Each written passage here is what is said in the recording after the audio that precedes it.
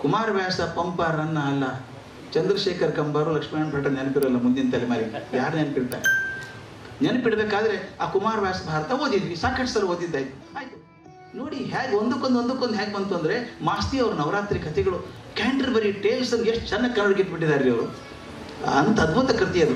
ಅದ್ರ ಬಗ್ಗೆ ಓದೋದಾಯ್ತು. ಒಂದೊಂದು ಕತೆ ಓದ್ವಿ. ಇವತ್ತು ನನ್ನ ಮಮ್ಮ ಮಗ ನೆನೆಸ್ಕೋತಾನೆ ಇಂಗ್ಲೆಂಡ್ ಫೋನ್ ಮಾಡ್ತಾನೆ. ಅಪ್ಪ ಇದೆಲ್ಲ ಕತೆದು ಕತೆ ಸಮಾಧಿ ಕತೆ ಎಷ್ಟು ಚೆನ್ನಾಗಿದೆಯಲ್ಲ ಮಸ್ತಿದು? ನವರಾತ್ರಿ ಕಥೆಗಳಲ್ಲಿ ಬರುವಂಥದ್ದು. ಆ ಕತೆ ಇನ್ನೊಂದು ಮನಸ್ಸು ಕೊಡ್ಕೊಂಡ್ಬಿಡುತ್ತೆ ಅದ್ರ ಮೂಲಕ ಇನ್ನಷ್ಟು ಕತೆ ಓದಬೇಕು ಅನಿಸುತ್ತೆ. ಆ ಹಿತವಾದ ಓದೋದು, ಕಷ್ಟದ ಓದಲ್ಲ, ಮನಸ್ಸಿಗೆ ಒಂದು ಜ್ಞಾನ ಕೊಡುವಂಥ ಓದು. ಆ ಥರ ಓದು ಬಂತು. ಸುಮಾರು ಒಂದು ಆರೇಳು ವರ್ಷದ ಕೆಳಗೆ ಹೀಗೆ ಪುಸ್ತಕ ಓದುವಾಗ ಒಂದು ಪುಸ್ತಕ ನನ್ನ ಕಣ್ಣಿಗೆ ಬಿತ್ತು. ಕಣ್ಣಿಗೆ ಬೀಳೋ ಕಾರಣ ಒಂದಿತ್ತು. ಒಬ್ಬ ರಷ್ಯನ್ ರೈಟರಿಗೆ ಸಾಮಾನ್ಯವಾಗಿ ನೊಬೆಲ್ ಪ್ರಶಸ್ತಿ ಬರ್ತಿರಲಿಲ್ಲ ಮೊದಲು. ಸೋಲ್ಜರ್ ಹಿಡ್ಸಿನ್ ಬಂತು. ಮಿಖಾಯಿಲ್ ಶೊಲೋಕೋವ್ ಅನ್ನೋವನಿಗೆ ಸಾವಿರದ ಒಂಬೈನೂರ ಅರವತ್ತೈದು ಇಸ್ವಿಯಲ್ಲಿ ನೊಬೆಲ್ ಪ್ರಶಸ್ತಿ ಬಂತು ಅಂತ. ಏನಿರ್ಬೇಕು ಹಾಗಾದರೆ ಅಂತ, ಆ ಪುಸ್ತಕ ಓದಿದೆ and quiet flows the Don ಅಂತ ಪುಸ್ತಕ. And quiet flows the Don ಅಂತ. ನಾಲ್ಕು ವಾಲ್ಯೂಮ್. ಅದರಿಂದ ರಷ್ಯನ್ಸ್ ಯಾವ ಸಣ್ಣದ ಬರೆಯೋದೇ ಇಲ್ಲ, ದೊಡ್ಡ ದೊಡ್ಡ.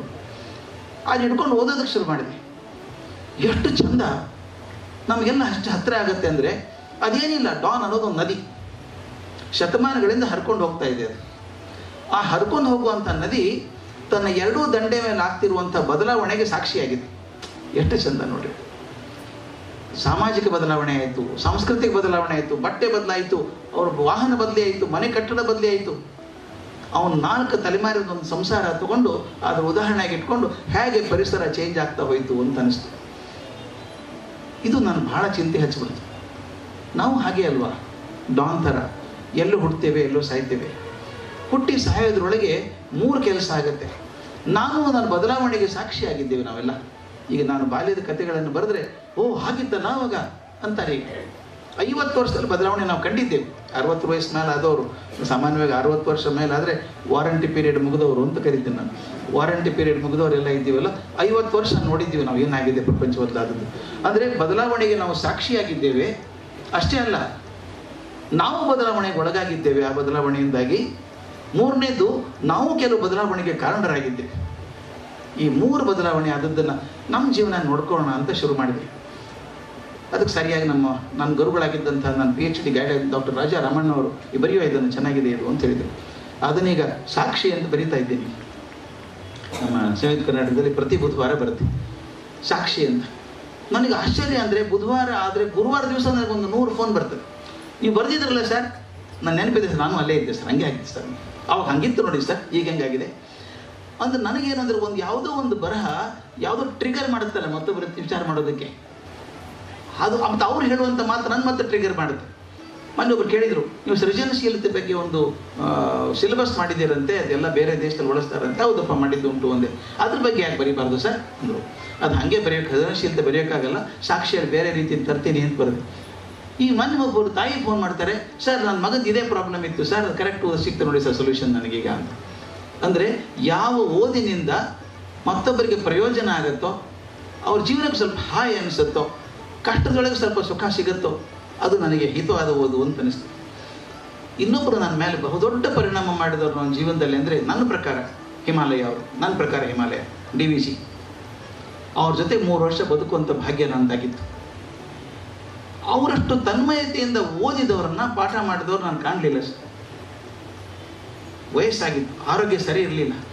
ಆದರೂ ಆ ಗೋಖಲೆ ಕಟ್ಟೆ ಇತ್ತು ಕಟ್ಟೆ ಮೇಲೆ ಕಾಲು ಚೇರ್ ಕೆಳಗಿಡ್ಕೊಂಡು ಕೂತ್ಕೊಳ್ಳೋರು. ಅವ್ರ ಬರಹ ನೀವು ನೋಡಿದ್ದೀರಿ, ಒಂದು ಜೀವನ ಧರ್ಮ ಯೋಗ ಸಾಕು, ಓದೋದು. ಭಗವದ್ಗೀತೆ ಅರ್ಥ ಆಗೋಲ್ಲ ಅಂದವ್ರು ಜೀವನ ಧರ್ಮ ಓದು ಓದಿದ್ರೆ ಖಂಡಿತ ಚೆನ್ನಾಗಿರುತ್ತೆ. ಅದನ್ನು ಪ್ರೀಪ್ರಿಂಟ್ ಮಾಡಿದ್ದಾರೆ, ಇವರು ಸುಬ್ರಹ್ಮಣ್ಯ ಮಾಡಿದ್ದಾರೆ. ತುಂಬ ಚೆನ್ನಾಗಿ ಮಾಡಿದ್ದೀರಿ ಅದನ್ನು. ಎರಡನೇ ವಾಲ್ಯೂಮ್ ಸಿಗ್ತಾನೆ ಇರಲಿಲ್ಲ ಜೀವನ ಧರ್ಮ ಅದು.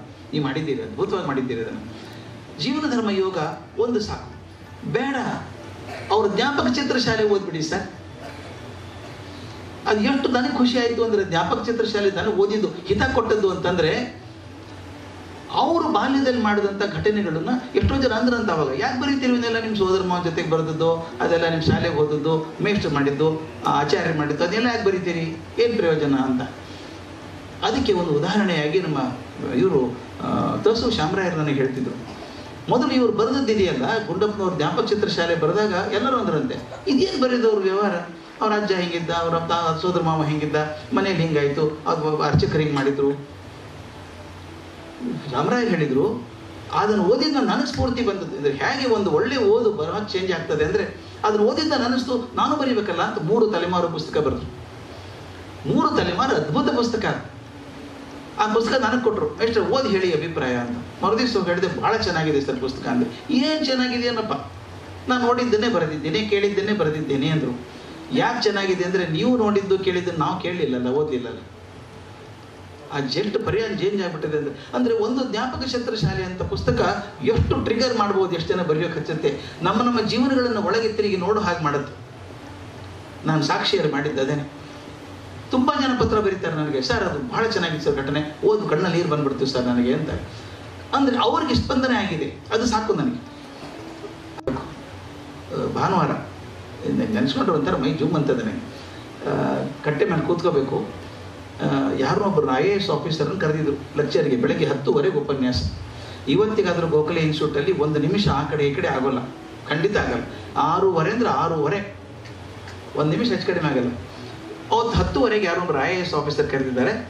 ಒಂದು ಹದಿನೈದು, ಇಪ್ಪತ್ತು ಜನ ಅಷ್ಟೇ ಇರೋರು ನಾವು. ಅವ್ರು ಹತ್ತುವರೆಗೆ ಬರಲಿಲ್ಲ. ಹತ್ತು, ಇಪ್ಪತ್ತೈದು ಆಯಿತು, ಇಪ್ಪತ್ತೆಂಟು ಆಯಿತು. ಭಾರಿ ಟೆನ್ಷನ್ ಡಿವಿಜಿಗೆ ಬಂದ್ರ ನೋಡಿ ಬಂದ್ರ ನೋಡಿ, ಅವ್ರು ಬರಲಿಲ್ವಾ? ಆತ ಗೀತೆ ಕೊಡಿ ಅಂದರು. ತಾವೇ ಗೀತೆ ಪಾಠ ಮಾಡೋಕೆ ಶುರು ಮಾಡಿದ್ರು. ಮುಂದೆ ಒಂದು ಹತ್ತು ನಿಮಿಷಕ್ಕೆ ಅವ್ರು ಐ ಎ ಎಸ್ ಆಫೀಸರ್ ಬಂದರು. ಹತ್ತು, ನಲವತ್ತಕ್ಕೆ ಬಂದಿರಬೇಕು. ಸಾಮಾನ್ಯವಾಗಿ ಏನು ಮಾಡ್ತೀವಿ ಹಂಗಾದ್ರೆ ನಾವು? ಬಂದ್ರ, ಬನ್ನಿ ಹಾಗಾದ್ರೆ, ನೀವು ಶುರು ಮಾಡಿ. ನೀವು ಬರೋ ತನಕ ನಾನು ಮಾಡ್ತಾ ಇದ್ದೆ ಅನ್ನೋ ಸಾಮಾನ್ಯವಾಗಿ. ಇವ್ರು ಏನು ಮಾಡಲಿಲ್ಲ? ಕೂತ್ಕೊಳ್ಳಿ ಏನು ಸನ್ನೆ ಮಾಡಿದ್ರು. ಅವ್ರೊಂದು ಕುರ್ಚಿ ಹಾಕಿದಲ್ಲಿ ಕೂತರು ಡಿ ವಿ ಜಿ ಮಾತು ಕೇಳಿ ಮನೆಗೆ ಹೋದರು. ಮಾತಾಡೋಕೆ ಕೊಡಲಿಲ್ಲ. ಆದರೂ ಹೋಗುವಾಗ ಒಂದು ಡಿ ವಿ ಜಿ ಮಾತು ಹೇಳಿದರು ಅವರಿಗೆ. ನೋಡಿ ಸರಿಯಾದ ಸಮಯಕ್ಕೆ ಬರಬೇಕು. ನೀವು ಸರಿಯಾಗಿ ಬರದೇ ಹೋದರೆ ಸರಿಯಾಗಿ ಬಂದವರಿಗೆ ಅಪಮಾನ ಮಾಡ್ದಂಗೆ ಆಗತ್ತೆ ಅಂತ. ಅದು ಮರೆಯೋದೇ ಸಾಧ್ಯ ಇಲ್ಲ ಸರಿಯಾಗಿ ಬಂದವರಿಗೆ ಮರ್ಯಾದೆ, ಅಪಮಾನ ಮಾಡ್ದಂಗೆ ಆಗುತ್ತೆ ಅಂತ. ಆ ಪಾಠ ಮಾಡುವಾಗ ನನಗೆ ಅನಿಸುತ್ತೆ, ರಾಮಾಯಣ ನಾನು ಸಾಕಷ್ಟು ಕಡೆ ಕೇಳಿದ್ದೀನಿ ಸರ್, ರಾಮಾಯಣ ಮಾಡೋದನ್ನು. ಆದರೆ ಈ ಥರದ ತನ್ಮಯತೆಯಿಂದ ಪಾಠ ಮಾಡೋರು ಇದುವರೆಗೂ ಕಂಡಿಲ್ಲ ನಾನು ಒಂದು ಏನೋ ಮಾತು ಬಂತು. ಇದಾಗಲ್ಲ ಬಿಡಿ ಸರ್. ರಾಮಸ್ವಾಮಿಯವರೇ, ಸರ್, ರಾಮಸ್ವಾಮಿಯವರು. ಇದಾಗಲ್ಲ ಸರ್ ಇದು, ಅಂದರು. ರಾಮಸ್ವಾಮಿ ಕೂತ್ಕೊಳ್ಳಿ ಅಂದರು. ನಿಮ್ಗೆ ಗೊತ್ತು? ರಾಮ ಹೋದ, ಸೈನ್ಯ ಕಟ್ಕೊಂಡು, ಲಂಕೆಗೆ ಹೋದ. ಯುದ್ಧ ನಡೀತಿದ್ದು ಘನಘೋರ ಯುದ್ಧ. ಲಕ್ಷ್ಮಣನಿಗೂ ಇಂದ್ರಜಿತ್ತಿಗೂ ಯುದ್ಧ ಶುರುವಾಯಿತು. ಹೇಗೆ ಯುದ್ಧ? ಏನೇನೋ ಬಾಣ ಬಿಟ್ಟ. ಇಂದ್ರ ಲಕ್ಷ್ಮಣ ಲಕ್ಷ್ಮಣ, ಇಂದ್ರಜಿತ್ತು ಸಾಯಲಿಲ್ಲ. ಅವ್ರ ಮಾತಿದ್ದು ನನ್ನ ಮಾತಲ್ಲ. ನನಗಿನ್ನೂ ಕೇಳಿಸುತ್ತೆ ಧ್ವನಿಯವ್ರದ್ದು ಆ ಥರ ಆಗಿದೆ ಆಗ ಲಕ್ಷ್ಮಣ ಒಂದು ಆರ್ಡಿನರಿ ಬಾಣ ತಗೊಂಡ. ಅವ್ರು ಮಾತು ಒಂದು ಆರ್ಡಿನರಿ ಬಾಣ ತಗೊಂಡ. ಹಣೆಗಿಟ್ಕೊಂಡ. ಧರ್ಮಾತ್ಮ ಸತ್ಯಸಂಧಶ್ಚ ರಾಮೋ ದಾಶರ್ಯತಿರ್ಯದಿ ಯುದ್ಧೇ ಚ ಅಪ್ರತಿದ್ವಂದ್ವ ನಿಮ್ ಜೈ ರಾವಣಿಂ ಅಂದ ಬಾಣ ಬಿಟ್ಟ. ಇಂದ ಜೊತೆ ಸತ್ತು ಸತ್ತದ ಬಾಣಕ್ಕಲ್ರಿ ತಮ್ಮನಿಗೆ ಅಣ್ಣನ ಮೇಲೆ ಇರುವಂತ ಶ್ರದ್ಧೆಯಿಂದ ಅಂತ. ಅದು ಹೇಳುವಾಗ ಕಣ್ಣಲ್ಲಿ ಕಳಗಳ ನೀರು ಸರ್. ಇಷ್ಟು ತನ್ಮಯತೆಯಿಂದ ನೋಡಿ, ಇದು ಐವತ್ತು ವರ್ಷದಿಂದ ಕೇಳಿದಂತ ರಾಮಾಯಣ ವಾಲ್ಮೀಕಿ ಮಾತು ನನಗೆ ಇನ್ನೂ ಭಯಪಟ್ಟು ಬರ್ತದೆ ತನ್ಮಯತೆ ಅಂತ ಹೇಳುವಂಥದ್ದು ಅದಾದ್ಮೇಲೆ ಅನ್ನಿಸ್ತು ನನಗೆ, ಆ ಓದ್ಬೇಕಾಗತ್ತೆ ವಾಲ್ಮೀಕಿ ರಾಮಾಯಣ. ಮೊದಲಿಂದ ಓದಬೇಕು. ರಂಗನಾಥ್ ಶರ್ಮರ ಹತ್ರ ಕೂತ್ಕೊಂಡೆ. ರಂಗನಾಥ್ ಶರ್ಮರ್ ಅಥಾರಿಟಿ ಅದು ಅವರು ಬರೆದಿದ್ದಾರೆ, ಕಾಲ್, ಅನುವಾದ ಕೂಡ ಮಾಡಿದ್ದಾರೆ ಅದನ್ನು. ಇಟ್ಕೊಂಡು ಕೂತು ಓದೋದು. ಓದಿದಾಗ ಅನ್ನಿಸ್ತು, ಎಷ್ಟು ಹೊಸ ನಾರಾಯಣಾಚಾರ್ಯದ ಪುಸ್ತಕ ಬಂದಾಗ, ನೋಡಿ ನನ್ನ ಮನಸ್ಸು ಹೆಂಗೆ ಒಳ್ಳೆ ಓದು ಏನು ಮಾಡಿಸುತ್ತೆ ಅಂತ. ರಾಮಾಯಣದ ಪಾತ್ರಗಳ ಬಗ್ಗೆ ನೀವು ಪುಸ್ತಕ ಬಂದಿರಲ್ಲ ಆಚಾರ್ಯ ಕೊಟ್ಟರು ನನಗೆ ಅದನ್ನು. ಇದಕ್ಕೆ ಬಂದಾಗ ವಾದ್ಯ ವಿಲಾಸ ಬಂದ ನಾನು ಪುಸ್ತಕ ಕೊಟ್ಟರು ನಾನು ಫಸ್ಟ್ ಕೆಲಸ ಮಾಡಿದ್ದೇನು ಗೊತ್ತಾ? ನಾರಾಯಣಾಚಾರ್ಯ ಪುಸ್ತಕ ಇಟ್ಕೊಂಡು ವಾಲ್ಮೀಕಿ ರಾಮಾಯಣ ತೆಗೆದು ಎರಡು ಕಂಪೇರ್ ಮಾಡಿ ನೋಡಿದೆ. ಆ ವಾಲ್ಮೀಕಿ ರಾಮಾಯಣ ಪ್ರವೇಶ ನನಗೆ ಡಿ ವಿ ಜಿ ಮಾಡಿಸಿದ್ರಿಂದ ಅದು ಕಂಪೇರ್ ಮಾಡೋಕ್ಕೋದಿ ಇದು ನಾನು ಒರಿಜಿನಲ್ ಹೋಗ್ತಾನೆ ಇರಲಿಲ್ಲ. ನಾರಾಯಣಾಚಾರ್ಯ ಚೆನ್ನಾಗಿದೆ ಬುಕ್ ಅಂತಿದ್ದೇನೆ ಈಗ ನನ್ನ ಮನಸ್ಸು ಹೇಗೆ ಬಂತು ಅಂದರೆ ಇದನ್ನ ಅನಲೈಸ್ ಮಾಡಿ ನೋಡೋಣ. ನಿಜವಾಗ್ಲೂ ವಾಲ್ಮೀಕಿ ನಂಗಿದೆಯಾ ಬದಲಾಗಿದೆಯಾ? ಯಾಕೆ ಹಿತ ಆಗತ್ತೆ ಸಾಹಿತ್ಯ ಅಂತಂದರೆ ಓದಿ ಮರೆತು ಬಿಡೋದಾದ್ರೆ ಹಿತ ಕೊಡೋ ಸಾಹಿತ್ಯ ಅಲ್ಲ, ಓದಲ್ಲ ಅದು. ಓದಿ ನಮ್ಮನ್ನು ಚಿಂತನೆಗೆ ಹಚ್ಚಬೇಕು, ಮತ್ತೊಂದು ಮತ್ತೊಂದು ಪುಸ್ತಕ ಓದೋದು ಪ್ರೇರಣೆ ಮಾಡಬೇಕು. ಹಾಗಿದ್ದದ್ದು. ನನಗನ್ಸುತ್ತೆ ಕಗ್ಗ ಹೇಳಬೇಕು ರೆಡಿ ರೆಕನರ್ ನನ್ನ ಬಂಟಿ ಹೇಳೋದಾದರೆ, ಅದೊಂದು ಗ್ರಂಥ ನಾನು ಬಹಳ ಮುಟ್ಟಿದಂಥ ಗ್ರಂಥ. ನಮ್ಮ ಜೀವನದಲ್ಲಿ ಯಾವುದೇ ಸಮಸ್ಯೆ ಬಂದರೂ ಕೂಡ ಅದಕ್ಕೊಂದು ಪರಿಹಾರ ಕಗ್ಗದಲ್ಲಿ ಸಿಗುತ್ತೆ ಅಂತ ನಾನು ನಂಬಿದವನು. ಯಾವುದೇ ಸಮಸ್ಯೆ ಬರಲಿ ಆ- ಅದನ್ನು ಅವ್ರ ಅವ್ರ ಪ್ರಿಯವಾದಂಥದ್ದು ಯಾವುದು? ನಾನು ಹೆಂಗೆ ಹೇಳೋದು ಅದನ್ನು? ಅವ್ರು ಕೇಳಿದೆ ನೀವು ಅತ್ಯಂತ ಪ್ರಿಯವಾದಂಥ ಕಗ್ಗ ಯಾವುದು? ಸುಮ್ಮನಿರಿ ಮೇಷ್ಟ್ರೆ, ನಾಲ್ಕು ಜನ ಮಕ್ಕಳಲ್ಲಿ ಯಾವ ಪ್ರೀತಿ ಅಂದ್ರೆ ಹೆಂಗೆ ಹೇಳೋದು? ಅಂದರು. ಆದರೆ ಅವ್ರು ಗುಣಕ್ತಿದ್ದದ್ದು ನೋಡಿದಾಗ, ಮೇಲೆ ಮೇಲೆ ಅಂದಾಗ ನನಗನ್ಸಿದ್ದು ಅದು ನನ್ನ ಜೀವನಕ್ಕೆ ಒಂದು ಮಾರ್ಗದರ್ಶಿ ಸೂತ್ರ ಅಂತ ಸಿಕ್ಕದ್ದು ಆ ಕಗ್ಗದಿಂದ ಕಗ್ಗದ ಒಂದು ಚೌಪದಿಯಿಂದ. ನಗು ಮನದಿ ಲೋಗರ ವಿಕಾರಗಳನ್ನು ನೋಡಿ, ಬಿಗಿ ತುಟಿಯ ದುಡಿವೊಂದು ನೋವ ಪಡುವೊಂದು ಪುಗು ವಿಶ್ವ ಜೀವನದ ಜೀವಾಂತರಂಗದಲ್ಲಿ ನಗು ನಗುತ್ತ ಬಾಳ್ ತೆರಳು ಮಂಕುತಿಮ್ಮ. ಒಂದು ನಾಲ್ಕು ಸಾಲಲ್ಲಿ ಏನನ್ನು ಹಿಡಿದಿಡ್ಬೋದ್ರಿ ಜೀವನದ್ದು? ನಾನು ನೋಡಿದ್ದೇನೆ, ಇದಿಷ್ಟು ಬರಿಬೇಕಾದ್ರೆ ಒಂದು ಪುಸ್ತಕ ಬೇಕು. ಇಡೀ ಜೀವನ ಹೇಗೆ ಬದುಕಬೇಕು ಅನ್ನೋದನ್ನ ನಾಲ್ಕು ಸಾಲಲ್ಲಿ ಎತ್ತಿಟ್ಟು ಬಿಡ್ತಾರಲ್ಲ ನಗು ಮನದಿ ಲೋಗರ ವಿಕಾರಗಳನ್ನು ನೋಡಿ. ಮತ್ತೊಬ್ಬರು ತಪ್ಪು ಮಾಡ್ತಾರೆ ಅಂತ ಅಟ್ಟಹಾಸ ಮಾಡಿ ನಗಬೇಡ ನೀನು. ಅವ್ರು ತಪ್ಪನ್ನು ಕಂಡುಹಿಡಿಯೋ ಕೆಲಸ ನಿಂದಲ್ಲ. ನಗು ಮನದಿ ಲೋಗರ ವಿಕಾರಗಳನ್ನು ನೋಡಿ ಬಿಗಿ ತೊಟಿಯ ದುಡಿವೊಂದು ನೋವು ಪಡುವನು. ನಾವು ಒಂದು ಸ್ವಲ್ಪ ಕಷ್ಟ ಆದರೆ ಊರಿಗೆಲ್ಲ ಹೇಳ್ಕೊಂಡ್ ಬರ್ತೀವಿ, ಅಯ್ಯೋ ನನ್ನ ಕಷ್ಟ ನನ್ನ ಕಷ್ಟ ಕಷ್ಟ. ಅವ್ರು ಹೇಳ್ತಾರೆ, ಯಾರಿಗೂ ಬೇಕಾಗಿಲ್ಲ ಅಳಬುರ್ಕ ಮೋತೆ? ಅವ್ರು ಭಾಳ ಚಂದ ಅಳಬುರ್ಕ ಮೋತಿ ಯಾರಿಗೂ ಬೇಕಾಗಿಲ್ಲ. ನಗುಮುಖ ಎಲ್ಲರಿಗೂ ಬೇಕು. ಬಿಗಿ ತುಟಿಯ ಒಂದು ನೋವು ಪಡುವಂದು ಮುಂದಿಂದು, ನೋವಾಗ್ತದೆ ಅಂತ ಜಗತ್ತಲ್ಲಿ ಹೋಗದೆ ದಂಡೆ ಮೇಲೆ ನಿಂತ್ಕೋಬೇಡ. ಹೋಗು ವಿಶ್ವ ಜೀವನದ ಜೀವಾಂತರಂಗದಲ್ಲಿ ನಗು ನಗುತ್ತ ಬಾಳ್ ತೆರಳು ಮಂಕುತಿಮ್ಮ. ಅದು ನನಗನ್ಸುತ್ತೆ, ಇಡೀ ಜೀವನ ಹೇಗೆ ಬದುಕಬೇಕು ಅನ್ನೋದನ್ನ ನಾಲ್ಕು ಸಾಲಲ್ಲಿ ಹೇಳೋದಿದೆಯಲ್ಲ ಕಗ್ಗ ಅದು ಬಹಳ ಮುಟ್ಟಿದಂಥದ್ದು ನಾನು. ತುಂಬ ಹಿತ ಕೊಟ್ಟಂಥ ಪುಸ್ತಕ. ಅಂತ ಸಾಕಷ್ಟು ಪುಸ್ತಕಗಳು ಓದಿದೆ ಒಂದು ಬಾಳಿಗೊಂದು ನಂಬಿಕೆ. ಅದು ಒಂದು ಪುಸ್ತಕ ಸಾಕು ಸ್ವಾಮಿ ಜೀವನ ಬದಲಾವಣೆ ಮಾಡೋದಕ್ಕೆ. ಎಷ್ಟು ಸುಲಭವಾಗಿ ಹೇಳ್ತಾರೆ ರೀ ಅವರು? ಬಾಳಿಗಿರೋದು ನಂಬಿಕೆ ಬೇಕಾದಷ್ಟು ಮೂರಿದ್ರೆ ಸಾಕು ನಿಮಗೆ. ಜೀವನೋತ್ಸಾಹ ಮೊದಲೇದು. ಎರಡನೇದು ಸತತ ಪ್ರಯ, ಸತತ ಪ್ರಯತ್ನ, ಒಂದು ಸಾಮಾಜಿಕ ಸೇವೆ, ಸಾಮಾಜಿಕ ಕಳಕಳಿ. ಮೂರಿದ್ರೆ ಸಾಕು ಹೇಗೆ ಮಾಡ್ಕೊಂಡು ಹೋಗ್ಬೋದು. ಸೂತ್ರ ರೂಪ ಕೊಡೋದಂಥ ಗ್ರಂಥ ಇದೆಯಲ್ಲ, ಜೀವನ ಬದಲಾಯಿಸುವಂಥದ್ದು. ಇನ್ನೊಂದು ಗ್ರಂಥ ನನಗೆ ಅತ್ಯಂತ ಮುಖ್ಯವಾಗಿ ಹೇಳಬೇಕಾದ್ರೆ ಜಗದಾತ್ಮಾನಂದಜಿ ಬರೆದಂಥದ್ದು, ಬದುಕಲು ಕಲಿಯಿರಿ ಅಂತ. ಮ್ಯಾಕ್ಸಿಮಮ್ ಸೇಲ್ ಆದ ಪುಸ್ತಕ ಅದು, ಬದುಕಲು ಕಲಿಯಿರಿ ಅಂತ. ಜಗದಾತ್ಮಾನಂದರು ಇದ್ದದ್ದೇ ಹಾಗೆ ಅವರು. ಅವ್ರು ಅಷ್ಟು ವರ್ಷ ಅವ್ರ ಜೊತೆಗಿದ್ದವ್ ನಾನು. ಏನು ಅದು ಲೈವ್ ವಾಯರ್ ಕೊನೆಗೆ ಆರೋಗ್ಯ ಕೆಟ್ಟು ಹೋದ್ರೂ ಕೂಡ ಅವ್ರಿಗೆ ಶಕ್ತಿ ಕಮ್ಮಿ ಆಗಲಿಲ್ಲ, ಅಷ್ಟು ಮಾಡುವಂಥವ್ರು. ಆಮೇಲೆ ಕೊನೆಗೆ ಒಂದು ಮಾತನ್ನು ಹೇಳಿ ಮುಗಿಸ್ತೇನೆ. ಸಾಹಿತ್ಯದ ಓದು ಹಿತ ಆಗೋದು ಯಾವಾಗ ಅಂದರೆ, ಬದುಕು ಭಾರ ಆದಾಗ, ಕಾಲು ಎಳೆಯುವ ಹಾಗಾದಾಗ ಉಸಿರುಗಟ್ಟಿದಾಗ ಪ್ರಪಂಚದ ಜಂಜಾಟಗಳು ಉಸಿರು ಕಟ್ಟಿದಾಗ, ಒಂದು ಒಳ್ಳೆಯ ಓದು ಕಿಟಕಿ ತೆಗೆದು ತಂಗಾಳಿ ಬಂದಂಗೆ ಇರ್ತದೆ. ಅದಕ್ಕೆ ಹೇಳ್ತಾರೆ, ಆನಂದವರ್ಧನ, ನಾನು ಒಂದು ಭಾಳ ಚಂದ ಹೇಳ್ತಾನೆ. ಕವಿ ವರ್ಣಿತ ವಿಷಯಗಳಲ್ಲಿ ತನ್ಮಯನಾಗುವ ಯೋಗ್ಯತೆ ಯಾರಿಗುಂಟೋ, ಅವನೇ ಸಹೃದಯ. ಕವಿ ಬರೆದಿದ್ದಾನಲ್ಲ ಅದನ್ನು ತನ್ಮಯತೆಯಿಂದ ಓದುವಂಥವನಿದ್ದಾನಲ್ಲ ಅವನೇ ಸಹೃದಯ. ನಾವು ಸಹೃದಯರಾಗಬೇಕು, ಒಳ್ಳೆ ಪುಸ್ತಕ ಆರಿಸ್ಕೋಬೇಕು. ಹೇಳ್ತಾರೆ, ಓದುಗ ಮತ್ತು ಬರಹಗಾರ ಇಬ್ಬರು ಒಂದೇ ವೀಣೆ ಎರಡು ತಂತಿ ಇದ್ದ ಹಾಗೆ. ಒಂದೇ ವೀಣೆ ನಿಮ್ಗೆ ಗೊತ್ತಿದೆ, ಒಂದು ತೇಣ್ ವೀಣೆಯನ್ನು ಮಿಂಟಿದ್ರೆ ಇನ್ನೊಂದು ಶಂಕರಿಸುತ್ತೆ ಒಬ್ಬ ಓದುಗ, ಒಬ್ಬ ಬರಹಗಾರ ಇಬ್ಬರು ಬೇಕು. ಒಬ್ಬ ಬರಹಗಾರ ಇಲ್ಲದೆ ಹೋದ್ರೆ ಓದುಗ ಇರೋಕ್ಕೆ ಸಾಧ್ಯ ಇಲ್ಲ. ಎಲ್ಲೊಂದು, ಇನ್ನೊಂದು ತಮಾಷೆ ಹೇಳ್ತೀನಿ. ಪ್ರೇರೇಪಣೆ ಮಾಡ್ತೋ ಇನ್ನೊಬ್ಬರಿಗೆ ಮಾಡ್ತದೆ ಅಂತ ಇಲ್ಲ. ಗಾಂಧಿ ಪ್ರವಾಸಕ್ಕೆ ಹೋದಾಗ ಪುಸ್ತಕ ಕೊಟ್ಟರು ಅನ್ ಟು ದಿಸ್ ಲಾಸ್ಟ್ ಅಂತ. Unto this last Gandhi ಹೇಳ್ತಾರೆ, ನನ್ನ ಜೀವನ ಬದಲಾಯಿಸಿದಂಥ ಪುಸ್ತಕ ಅದು ಅಂತ. ಆ ಪುಸ್ತಕ ನಾನು ಓದಿದ್ದೀನಿ, ಏನು ಭಾಳ ದೊಡ್ಡದು ಅನಿಸ್ಲಿಲ್ಲ ನನಗೆ. ಅದಕ್ಕೆ ಹೇಳ್ತೀನಿ ಎ ಗುಡ್ ರೀಡರ್ ಇದು second author of the book a good reader is second author of the book ಆತನ ಏನು ಗುಣಗಳನ್ನು ಬೇಕು ಅಂತಾನೆ ಪುಸ್ತಕದಲ್ಲಿ ಹಾಗೆ ತಾನು ಪಡ್ಕೊಳ್ತಾನೆ ಅಂತ. ಹಾಗೆ ಸಾಕಷ್ಟು ಪುಸ್ತಕಗಳು ನಮ್ಮ ಜೀವನವನ್ನು ಬದಲಾಯಿಸಿದ್ದಾವೆ, ಬದಲಾಯಿಸ್ತಾವೆ ಇನ್ಮೇಲೆ ಕೂಡ. ಹಾಗೆ ಬದಲಾವಣೆ ಆಗಲಿ. ಆ ಬದಲಾವಣೆಯಿಂದ ನಮ್ಮ ಜೀವನ ಹೆಚ್ಚು ಸಮೃದ್ಧ ಆಗಲಿ ಅಂತ ಅಪೇಕ್ಷೆ ಇದೆ. ಆದ್ದರಿಂದ ಓದು ಬರೀ ಸುಖ ಆಗದೆ ಕೆಲವು ಓದು ಸುಖ ಕೊಡ್ತದೆ ಆಹ್ ಬಜಾ, ಜೋಕ್ಸ್. ಬೀಚಿ ಬಗ್ಗೆ ಹೇಳಿದ್ರಿ ನಾನು ಅವ್ರ ಜೊತೆಗೆ ತಿರುಗಾಡಿದ ಹುಡುಗ ನಾನು. ಬರೀ ಆಸೆ ನಾವು, ಬೈಯೋರು ನಾನು, ವಿಪರೀತ ಬೈಯೋರು. ಅವ್ರು ಬೈಗಳಂದ್ರೆ ನಿಮ್ಗೆ ಗೊತ್ತಲ್ಲ ಹೇಗಿರ್ತಿತ್ತು ಅಂತ. ಭಾಳ ಬೈಯೋರು. ಇನ್ನು ಹಣೆ ಭಾರ. ಸೂಟಿ ಒಳಗೆ ಬರ್ತಿ, ಬಾ. ಬಳ್ಳಾರಿ ಬಾ. ಬಳ್ಳಾರಿ ಬ್ಯಾಸಿಗೆ ಬೀಸಲು ಹೆಂಗಿರುತ್ತೆ ಹೇಳಬೇಕಾಗಿಲ್ಲ. ಆದರೆ ನಾನು ಅವ್ರನ್ನ ಯಾವಾಗಲೂ ಹ್ಯೂಮರಿಸ್ಟ್ ಅಂತ ನೋಡಲಿಲ್ಲ ನಾನು.